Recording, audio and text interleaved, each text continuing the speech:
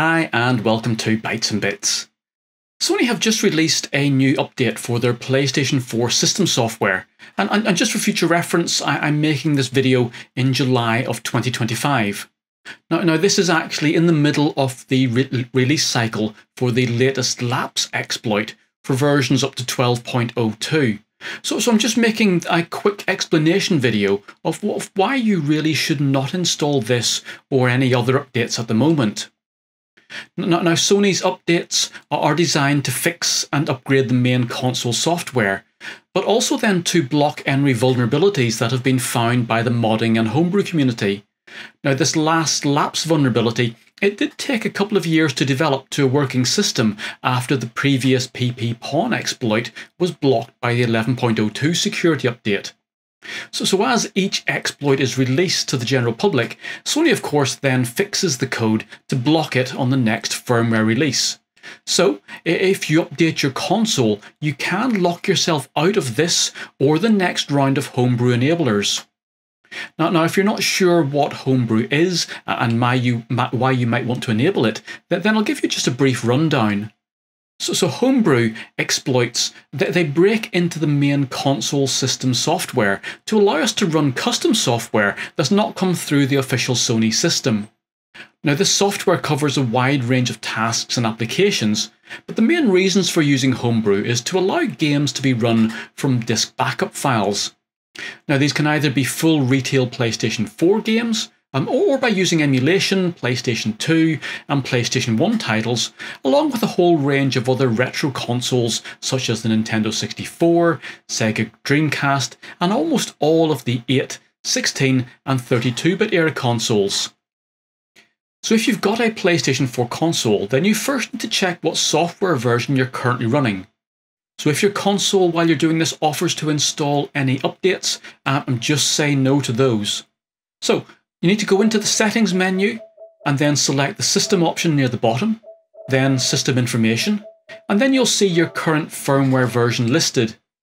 So, so the general advice is to try and keep this number as low as possible until you've got a reliable exploit for a newer version. So, so the next step, of course, then should be to stop these automatic firmware downloads from being triggered.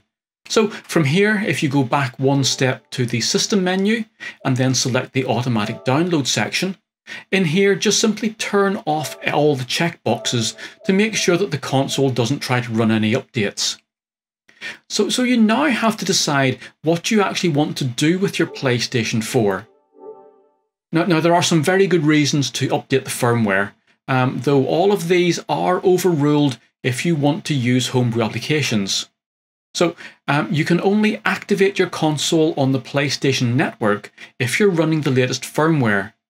So, so if trophies and online gaming is your thing, then you'll really need to stick with an official firmware PlayStation 4 and run the games as normal from discs and PlayStation Network downloads. And of course, updating then is going to be essential in this case.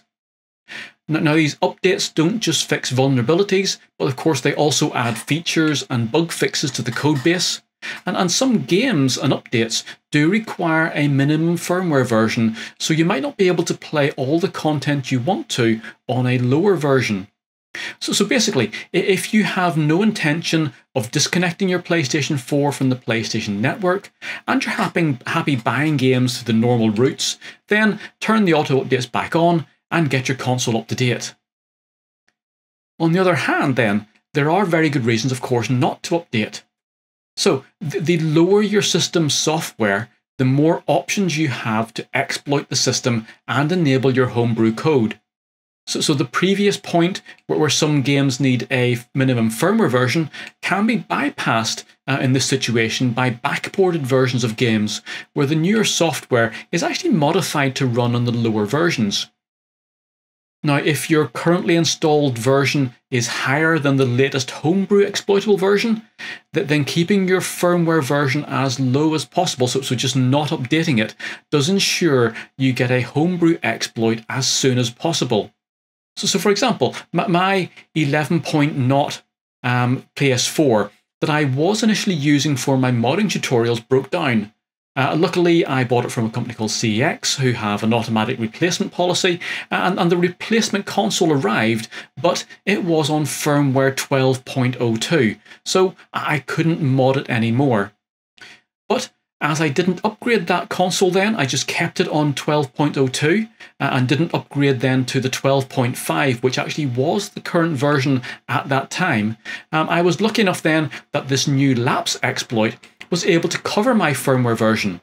If I had updated, I'd still then be waiting for another year or two from now before an exploit was released for the 12.5 ver versions. So, um, one thing to point out also at this point is to be very careful about what the latest exploitable firmware version is. Now, now, just to be absolutely clear, at this point in time, the new lapse exploit will work up to and including firmware version 12.02, not 12.50 or beyond. So please don't get confused when people release tutorials about 12.5 not and 12.52 being compatible with the homebrew enabler code th th this is actually a different topic and not a usable exploit. So all these videos are saying is that the code that we want to run after the console has been exploited is already compatible, but we don't yet have an exploit that will work with these higher versions. So, so, so, do remember to check what the latest actual exploit is compatible with, not the payload code such as the PS4 HEN or GoldHEN compatibility. So I guess it all really boils down to one decision. D do you want to use Homebrew? If, if the answer is yes, then don't update. At least not beyond the latest exploitable version, and definitely not if you're already beyond that. Uh, again, um, choosing the version you want to install, you will need to do that outside of the official Sony update site. Um, if you use the official Sony updates, you will go straight to the very latest version, so, so do avoid that. If you don't want to use Homebrew then, um, well, just keep your console running as normal. Um, turn on your auto updates and, and just keep playing. Um, but do, of course, however, remember that, that when it comes to sell your console, if, if that's what you will end up doing, um, you will get a better price for it, actually, if it's on an exploitable firmware version. So, I hope you found this video useful. Um, please do click that like button and subscribe to the channel for more gaming, modding, electronics, and making projects. I look forward to seeing you again very soon, and bye for now. For more games programming, electronics projects, and retro gaming, please make sure you like this video, subscribe to my YouTube channel, and visit my website.